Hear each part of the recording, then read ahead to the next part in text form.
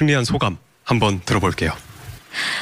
이 친구들이 아니었으면은 사실 너무 힘들었을 잠시만요.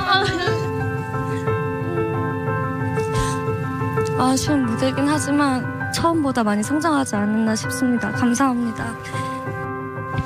잘했어 유진이. 잘했어, 그래. 유진이 고생 많이 했을 텐데.